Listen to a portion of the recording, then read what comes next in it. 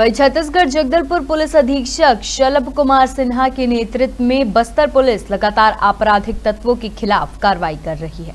Team बनाकर लूट के दो आरोपियों को गिरफ़्तार कर लिया गया है। वहीं शिकायतकर्ता अमित कुमार ने भानपुरी थाने में रिपोर्ट दर्ज कराई कि वह अपने दोस्त के साथ मोटरसाइकिल से आमबाल के लिए गया था। तीन लोगों ने मोटरसाइकिल से पीछा करते हुए उसकी मोटरसाइकिल मोबाइल और दस हज़ार रुपए लूट लिए। बता दें कि जानकारी मिलते ही पुलिस ने टीम गठित कर कार्रवाई के लिए रवाना हुई। वही टीम द्वारा सीसीटीवी फुटेज के आधार पर आरोपियों को पकड़ा गया और उनके कब्जे से लूटी गई मोटरसाइकिल और नकदी दो हज़ार नौ सौ पचास रुपए जब्त कर आरोपियों को गिरफ़्तार कर न्यायिक रिमांड पर न्यायालय में पेश कर दिया गया है। 20 और 20 जुलाई के दरमियानी रात को बड़े अमाबाल क्षेत्र में अमित पात्रे जो नारायणपुर जिला के निवासी हैं, वो अपनी बाइक से जा रहे थे।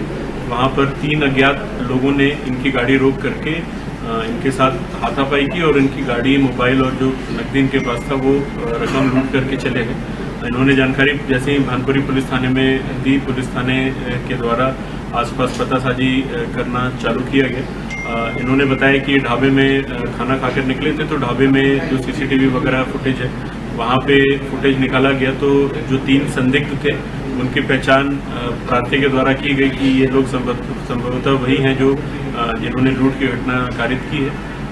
सूचना मिलने पर अपने मुखबिरों को लगा करके हम लोगों ने जो सीसीटीवी से पहचान की थी, उन लोगों को हिरासत में लिया जो एक का नाम दिनेश नायक और एक का नाम पूरन यादव है।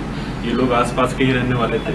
इनसे जब पूछताछ की गई तो उन्होंने कबूल कर लिया अपना अपराध और इनके निशानदेही पे जो लूट का सामान है, मोटरसाइकिल, मोबाइल और नगद, वो बरामद किया गया और एक तीसरा आरोपी भी इनका है जो कि अभी फरार है, उसके बारे में भी जानकारी मिली मिली है और उसको भी जल्द से जल्द हिरासत में लिया